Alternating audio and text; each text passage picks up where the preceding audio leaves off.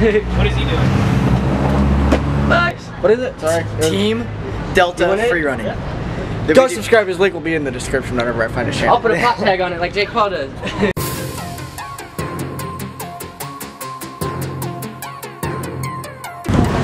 What's up, everybody? It is a brand new day with a brand new vlog, and actually, it's a collaboration vlog today. Who are you? I'm nobody, dude. Y- You're nobody. I'm Okay. actually Andrew, Andrew Hazzlee. His link will be in the description below. His link will be in the description below. Go subscribe to his channel and uh, show him some love. Look at this guy. As a matter of fact, he's vlogging on his channel. My shit's gonna be in the description below, so be sure to check it out. It's gonna be a really interesting vlog. It's gonna be a follow-up vlog for him. And uh, well, let's see how. They Let's uh, go down that way. let's go that way. Okay. Hopefully we don't get hit by a car. Let's Get get, hit hit by- by a car. Let's just not look at the road at all. Just, just walk on the road. That's pretty sick. Look It's just a regular bike, bro. Super quiet though. Super quiet gas powered bike. That was super quiet. Yeah. Oh, there it goes. No, that's the. No, that's, That would be a Mustang. But uh, yeah, let's see if he fails or if he succeeds today. What yeah. I'm gonna. I'm gonna. What am I doing? Okay, hold on. What's up? no, I'm just kidding. I'm not doing that. Welcome. I've, I've already introduced myself. Like I've already had my intro for this vlog, but I'm gonna try to get something to eat so that, cause I'm kind of hungry. I mean, maybe I should do this on an empty stomach. I don't know. Like, I haven't eaten all day. I mean, I ate breakfast. Today we, I'm going out. Okay, you want to know what I'm doing out here today? I am coming out here to see and approach girls, approach people with stupid questions, whatever. Girls, whatever. I don't know what I'm gonna do, but the main goal is to try to score a date. And on and on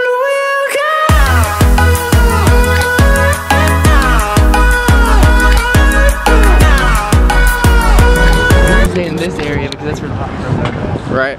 All right. So for like the last hour, my buddy Andrew has failed his mission, but we're gonna give it another 30 minutes according to what he says. It hasn't been an hour. And uh, It's been like 35 minutes.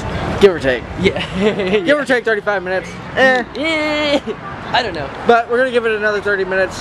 If he fails, we're gonna move on. That's okay. No hate. Treat. Watch out for the treat. Okay, so yeah, that's pretty much that's pretty, that's pretty much it. Yeah. And uh, well, after we get done doing his thing, then I'm gonna start doing mine. And we're gonna get some really interesting answers while I'm asking some really interesting questions to random people out here on the streets, just to see what people think on the damn world. You dig? I dig. Yeah, for sure. Uh, but yeah, so let's see what he finds out. Leg insurance. Hey, nice. Did he make video. that corner? Look at this tiny ass truck. He's not gonna make it. That fat ass bitch. Is he gonna make it? Ooh, girl. Ooh, girl, back that truck up. Oh my god, he made it. yeah. No. Oh, you're good. But- we, we don't mind if people are in the shot. Yeah. Unless you guys mind. All right. But uh, yeah, I'm gonna ask just about everybody. So let's go. All right. Got a question for you. Do you guys mind if you're on camera? What do you guys think of the competitor? I don't think I should answer this. Sorry. You're fine. Have a good day. You too. Okay, well, they, they didn't feel comfortable answering, and nothing is wrong with that. Yeah. I'm gonna probably be getting that a lot, and that's totally okay.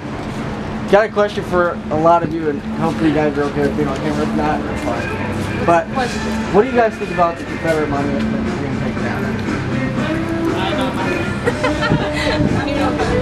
Dad? Not on camera. Yep. Thanks. Excuse me, sir. Got a question. And You don't have to answer it. I'm recording too, by the way. I asked the question. You might be on camera if you It just depends what it is. What do you think of the Confederate monument being taken down across the United States? Um, I don't know. It's a tough topic. I'm uh, a little bit frustrated because I think you can't change history. You can learn from it.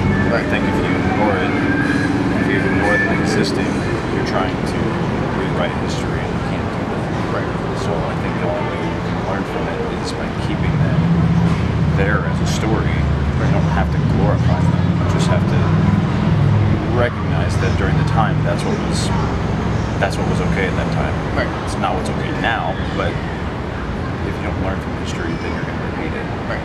And right now we're trying to ignore history um, and rewrite it. And I think it's going to be, I think it's going to have negative effects. I think people just want to have a voice heard. And, you know, during the last presidential election, where were these riots for these monuments? So I think it's just for the times right now. I think it's what gets news, but I think it's poor that we're doing it in the sense of take it away and ignore it. Right. That was an awesome answer. Al- Also, just a forewarning, this will be up on YouTube at a later date. If you're okay with that. Yeah, That's fine. It's, it's all good. It's not a controversial answer. It's not a, you know, it's not a feel-good answer. I think it's reality. I think For sure. you can't rewrite history. So if you don't learn from it, you're just you're gonna repeat yourself. Definitely. So have fun, guys. Thanks. All right. Appreciate the answer. Yeah, man. Not a problem. Have a good day. you too. All right. So, so could you tell me the, the backstory? Mainly, I was I got a job working at Pickleman's originally. I moved into this house back in October. I lost my job at Pickleman's. I got another job working down here on the Kansas City, Missouri Plaza, doing uh, cleaning up the office buildings pretty much. Okay.